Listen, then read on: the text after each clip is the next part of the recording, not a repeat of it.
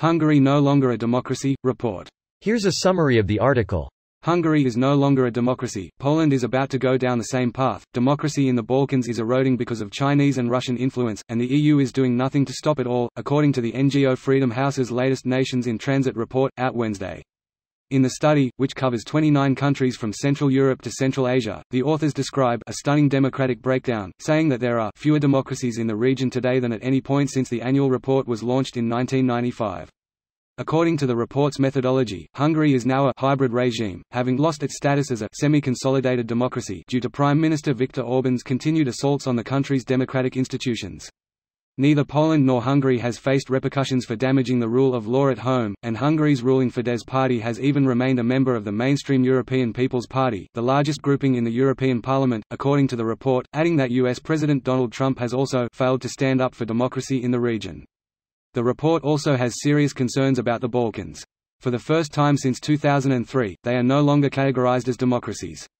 The Freedom House report says foreign influence has been a destabilizing factor. This post received a score of 61,000, with an upvote ratio of 90%. Here are the top comments in response to this article. From the link to article in that article. Fully fledged authoritarian democracy. Just a thin veil of legitimacy shrouds his vastly corrupt apparatus. Worst part is Orban started off pretty idealistic and had lots of potential, rallying the people around expelling the Soviets and communism. But once he came into power, he became everything he swore to destroy. SMH. Orban, my allegiance is to the republic to democracy. Wielding power for good is a path to wielding power for its own sake. Of all the roads to the dark side, this one is the most seductive. Mace Windu reminds me of 1984 when O'Brien tells Winston that scary shit. Yes. For anyone who has been thinking of reading this book but hasn't gotten around to it yet do it. It's a very easy read, with plenty of tension and intrigue and action. I expected it to be an effort, but it is double plus good. Orwell is nearly always brought via 1984 and Animal Farm, but my favorite book of his has to be Homage to Catalonia. It's a non-fiction account of his time spent fighting Franco's fascists in Spain during the 1930s. It's an easy read and absolutely fascinating.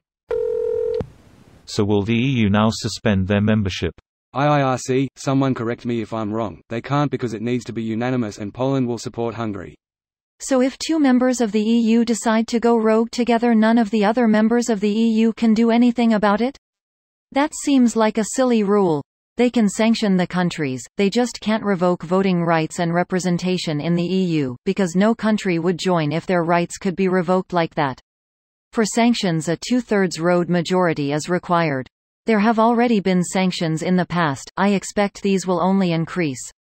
And the reason for that is to keep countries working out things in the parliament, rather than going to war with each other, rather than expelling and creating aggressive rogue states around Europe.